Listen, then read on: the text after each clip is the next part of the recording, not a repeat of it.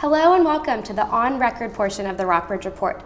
I'm Alex Cummings, and joining me today is Lori Keckler, the Executive Director of the Community Foundation of Bath, Alleghany, and Rockbridge counties. Thank you so much for joining us today. Thank you, Alex, for having me. Could you tell me a little bit about your background in nonprofit um, management and organization?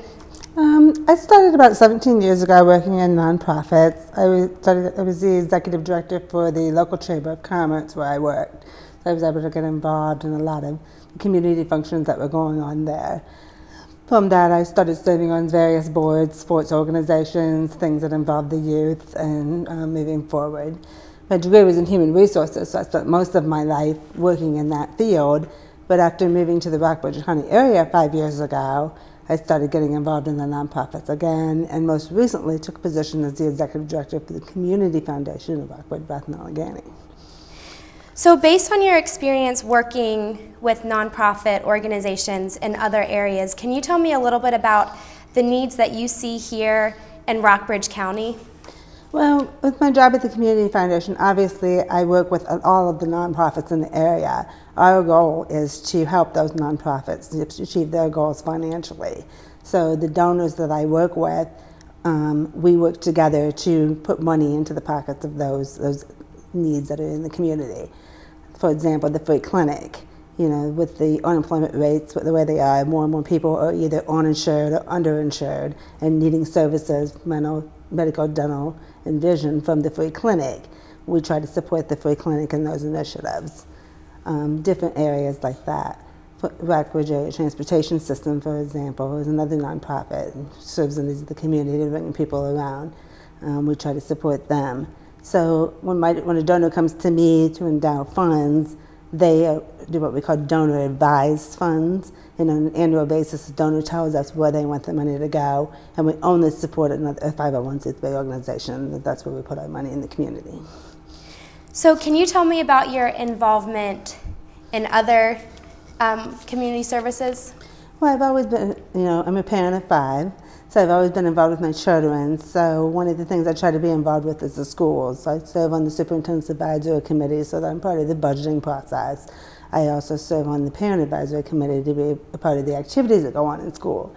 But one of the things that I discovered when I moved to Virginia was that there wasn't enough after school activities for the youth. Being a cheerleading coach for a number of years before moving here, I decided to bring competition cheer program to the area. And so I have 60 youth that are involved in three teams of competition cheerleading that I brought to Rockbridge County three years ago. And how has that been? It's been great. I mean, before the kids, you know, didn't, have, I mean, they had school activities, but they didn't really have anything outside of school. Competition, competition cheerleading brings a whole new level of confidence to children. I mean, it's not something that's easy. You know, we stunt, we tumble and it's something that you really take a lot of pride in. So my girls are not expected, you know, to get good grades and be examples, role models in the community, but also it's you know, building their confidence, it's making them different people. How did you see the need for an after-school program like this? How did you um, how did you figure out that a program like this could well, be just my used. experience. I worked in an all-star gym for a number of years in Ohio, and I saw the confidence. I saw what it did for the girls. The problem was that the all-star gyms are very expensive, and most people in this area don't have two or three hundred dollars a month to spend to take their children to something like this. So I was able to provide this program for free by working with the um, Parks and Recreation Department, the schools to allow me the gyms for practice space, and um, bring the program together so that more and more girls could participate in it even if they couldn't afford it.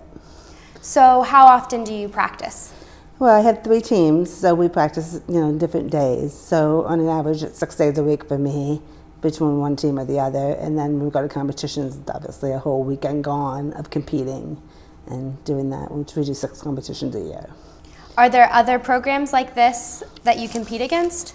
Um, not that it's free. There's, there's you know, also gyms in Roanoke and Staunton and other areas, but there, there's nothing that's available, you know, where they don't have to pay. And can you tell me more specifically how this program is funded? Um, it's basically funded, you know, I, I volunteer my coaching time. The schools provide the gyms for um, practices for us. The parents do have to pay the competition fees because each girl has to enter, you know, the competition. But we do fundraisers, we do car washes, we sell candles at Christmas time, we do Applebee's pancake fundraisers. We do enough fundraisers to offset it all, so the girls don't have to put anything out of pocket. About how much does it cost to keep this program running? Well, the other thing they have to pay is their competition fees, and it averages about fifty dollars a competition. So, doing six competitions a year, it's about three hundred dollars per girl, and they can fundraise that between all the fundraisers. We do it throughout the year if they do well. And what are some of the changes you've noticed for the girls who participate in your program? Well, I mean, obviously it, it impacts their school programs, so it not only helps them confidently on their own, but it also improves the school programs. So when you go to the high school games, you see the cheerleaders in basketball, football, who now have improved skills, better stunning, better confidence, better jumps, all those things that come with it. What about as far as family relationships? Well, you know, I do have um, a lot of contact with the parents. So if there's problems at home, the parents always seem to come and let me know that. And it gives me an opportunity to talk to the girls one on one. And sometimes, you know, talking to someone else has a different impact than talking to your parents. So I believe that, you know, me being able to be there as a role model and a mentor to them um, does help make a difference when are problems at home. Because a lot of times when you have a problem, and parent will just automatically say you're off the team, you're done. And I always encourage the parents to give me the opportunity to speak with them and let them make the changes needed before they make that decision. Have parents been, how have parents responded to this program? I'm sure they're, they're um, grateful, but as far as transporting the girls, I mean, are there challenges? Well, I mean, there's challenges, but they do try to carpool, you know, those sort of things. Um, the parents have responded very positively. I have a great group of parents. Um, they, they're very proud something that's never been in this area before. Um, so there's a lot of bragging rights going on. You know, that's my girl. I mean, they're very good. They work hard and they're a very good team. Most recently, the parents have stepped up and asked to have a parent team. So I've started coaching a parent team. So I actually have a team of parents who are now practicing and learning and want to compete at the next competition. So it's, it's fun and it's going to be great because the girls will be very excited to go see their parents go out there on stage and compete. So, um, what are some of your goals moving forward? with the program. Mm-hmm. Um, just continue to grow and build. Um, the first year we had two teams. We've moved up to three teams. Continue to you know encourage the youth to be involved, get good grades, be good role models in the community, and you know we've moved. You know the cheer program is in is in levels. You go from level one to five. We moved from level one to level three already. So we're halfway through the levels that are available. And as we continue to improve, then we'll be able to move up different levels. Okay, and um, switching gears a little bit, could we talk about your involvement with the new community table, which just opened mm. recently? Absolutely. Um, I'm the vice president of the board for the community table. We have just served our third meal last night. The first week we um, served 76 people. The second week we served 128. I haven't got the head count for last night, but I believe our number increased again. People were coming in, they're leaving with smiles on their face, their belly's full and it's been it's been great. We're serving a healthy, nutritious meal every Monday night, and for a lot of these people, they're telling us that that's the only nutritious meal that they get all week. And so our goal is to continue to expand that and hopefully be able to offer more days in the future.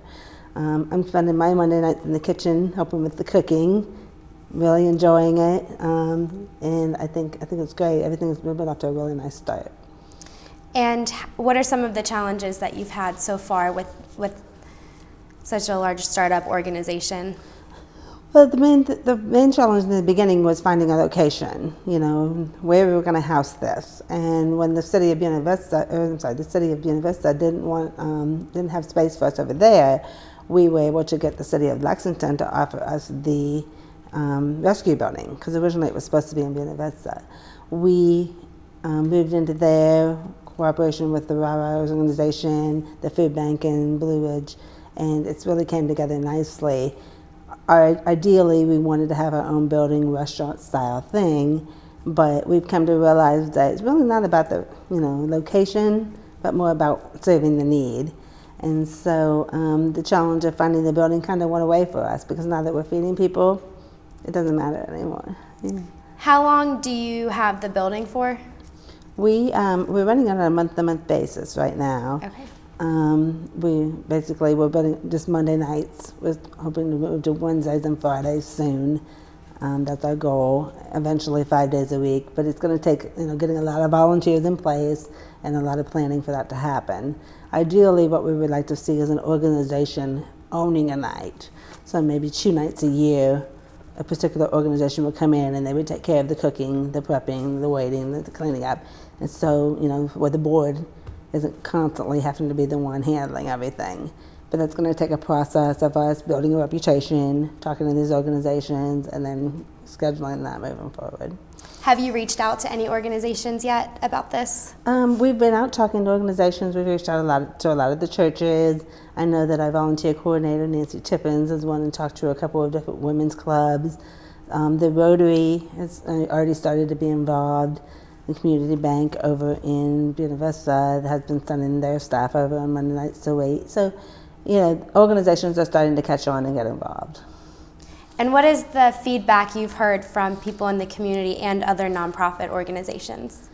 From the other nonprofits, um, I haven't got a lot of feedback from the other nonprofits, but from the community as a whole, I mean, people are happy we're there. We're happy that you know people are being fed. We do work with you know Rah and they're very pleased to have us there because it's kind of really convenient for them, because people come and pick up their food boxes from the food pantry, and then immediately after that they can go over and sit down and have a meal before they go. So in one trip they're able to not only get the supplies for the month that they need, but then have a meal before you know and so that's nice. Is there any kind of eligibility guideline for who can come to the we don't ask table? for, we don't ask for income eligibility. We don't ask anybody to prove anything. Anybody can come in and eat. If you have money to pay and you want to make a donation, great. If you don't, that's fine too. Um, it's but anybody who wants to come and have a meal can have one. And where you um, where do you see the community table going in the future? The community table in the future. I have, I'm hoping to see it as, you know, serving five meals a week, you know, people coming in there every night, having, you know, like I said, a service organization owning a night and everything moving forward that way. People having a place like I think go every night and have a healthy, nutritious meal. Great. Well, that's all the time we have for today. Thanks so much for joining us for the Rockbridge Report. I'm Alex Cummings.